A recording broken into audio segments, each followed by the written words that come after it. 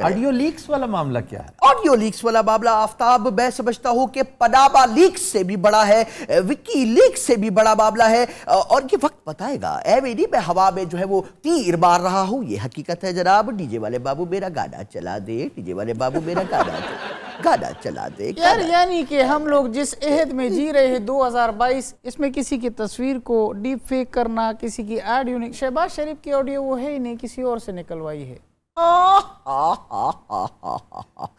आफ्ताब साहब आप भी ना खाब खान की तरफ़ जाते हैं। आपको पता है ये डिफेंड करेंगे। अब क्यों हम वक्त ज़ाया कर रहे हैं? तुम भी डिफेंड करते हो। किनू अपने लीडरों को। हाँ करना। मियाँ मोहम्मद नवाज़ शरीफ वर्गा लीडर। पाकिस्तान बल्कि पूरी दुनिया च नहीं आना। ऐसा शफाफ और ऐसा मुहब वतन। मत तो उसकी रंगत देख के कह रहे हो। मुहब वतन।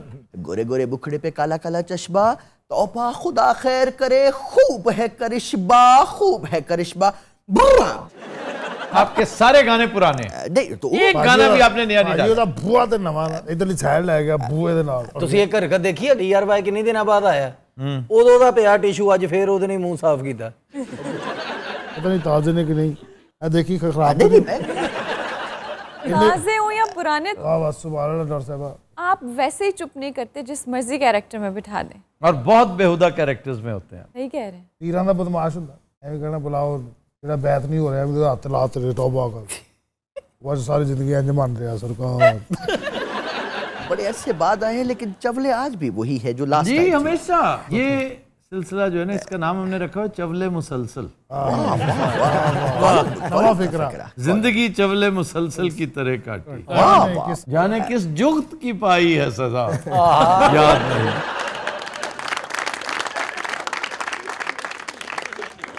अच्छा जी ऑडियो लीक्स के बारे में आप क्या कहते हैं देखिए ऑडियो लीक जो हुई है ये थोड़ा सा है तो बुरी चीज़ लेकिन सारी पेक है। कैसे पेक है? कैसे कह सकते हैं आप मैंने आपसे पहले भी ज़िक्र किया था कि आजकल तो कोई भी किसी की आवाज़ निकाल लेते शहबाज शरीफ बना होगा ये यहाँ से वो कर दो वहाँ से वो कर दो और पैसे वहाँ से मंगवाने हैं इंडिया से सामान नहीं मंगवाना। सिंपल सी चीज़ है तो हर कोई कर सकता है। तो नहीं मुंडा इतने कबूल? वो किन्ना मरना? शहबाज शरीफ जो मर्ज़ी बना दो। वो सिर्फ़ बंदा नहीं बने अजे तक।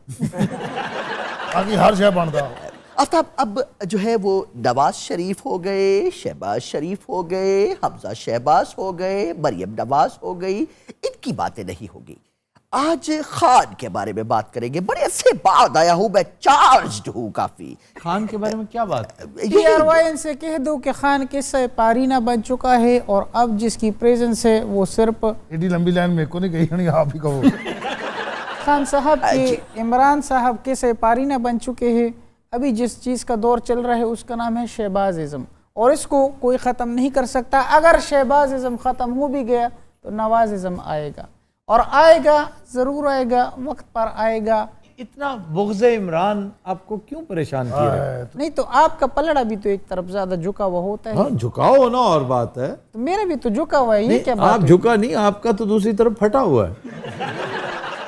मैं ये कह रहा था कि अब सर्दियाँ आने वाली हैं ये लंडा बेचेगा। फिर बादाम ते अखरोट भी कटेगा। ना यार बात तो कर ले एंड ते टैंक कटेगा। अच्छा आप कुछ कह रहे हैं? करने को तो बहुत सारी बातें हैं आप यकीन करें धीमे धीमे धीमे धीमे धीमे धीमे धीमे धीमे। सट मेरा सीने सीने सीने सीने सीने सीने इसकी बीट आप चेक करें आप। डिप डिप डिप डिप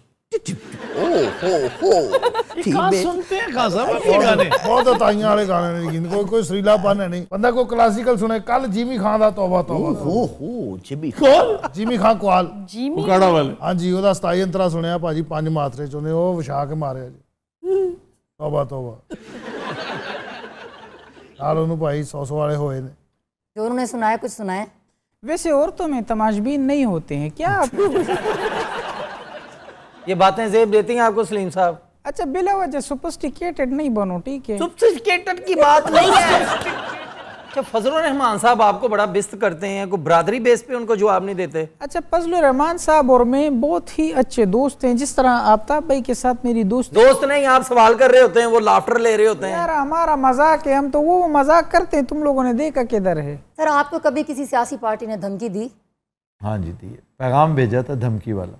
फिर की बने इनसे पूछो। इनसे क्यों पूछो? क्योंकि ये पैगाम लेकर आए थे। अच्छा कोई ट्रेड सीक्रेट्स भी होते हैं सबके सामने यार कैमरे ऑन है नहीं, बात नहीं, चल रही है। हुआ था ना ऐसा हुआ था। नहीं हुआ था तो उसको दबा देते हैं तो दस नहीं मैंने फिर जवाब दिया था और ये भी बहुत हंसे थे मेरा जवाब सुन अभी हाँ। इधर इधर कान लेके आओ। बाकी ये क्या हाँ जी। यदि शर्मा जी का धमकी का जवाब तो फिर ऐसे ही देते हैं ना।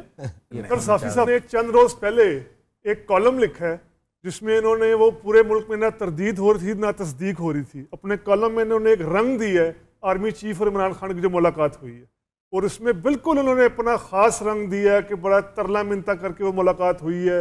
यानी वो कॉलम इनसे ख़ास लिखवाया गया है। सबसे बड़े जो पाकिस्तान के अखबार हैं। अफसोस की बात है कि इमरान तरले मिन्नत करेगा। शर्मनाक हद तक झूठ है। इनको इस्तेमाल किया गया सर। आफ्ताब भाई आप समझते हैं कि मैं इस्तेमाल हो सकता हूँ? जी मैं समझता हूँ। ठीक समझते हैं फिर। आप मासूम आदमी हैं आप इस्तेमाल हो गए हो। नहीं आफ्ताब भाई जिस तरह के हालात थे आप नहीं समझते कि ऐसा नहीं हुआ होगा। नहीं मुलाकात हुई होगी नहीं मुलाकात डेफिनेटली हुई है।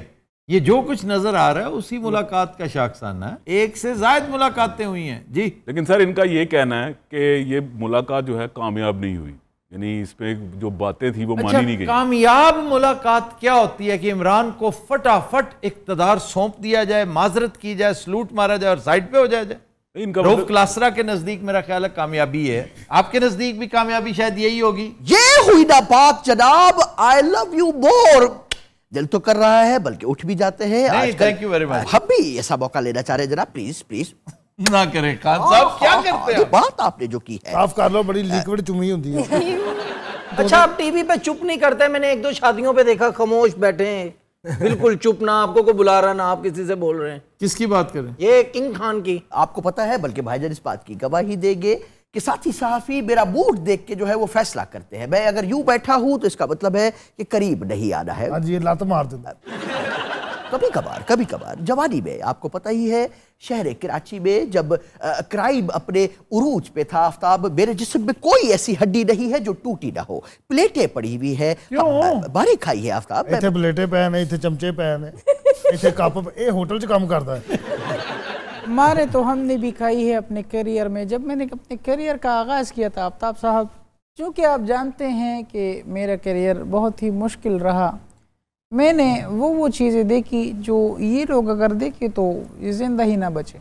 एक दफ़ा मैं सहाफत करते करते पहाड़ों के बीच में चला गया। ये सुबह सुबह निकल जाता सहाफत कर नहीं कई लोग अजे भी जाते यार प्लीज़ सही गल सांगले वाली साइड तो जाओ। सहाफत आई हो नहीं बंदा वेखदा मीह नेरी है। अच्छा फिर?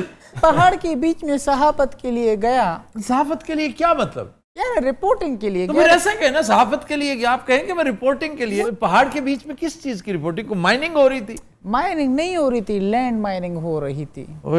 मैं वहाँ पर गया लोगों के मुश्किलात उनसे पूछी। फिर उसमें से एक शख्स ने कांपते हुए बताया साहब साहब साहब साहब यहाँ पर रात को जो है वो एक बाघ आता है। बाग बाग बाग नहीं बाग हाँ वही आता है। मैं जब अकेला तने तनहा बैठा था तो देखता हूँ दूर से पहाड़ की चोटियों पे से कोई उतरता आ रहा है। वो मेरा ख्याल साफत करके उतर है सर।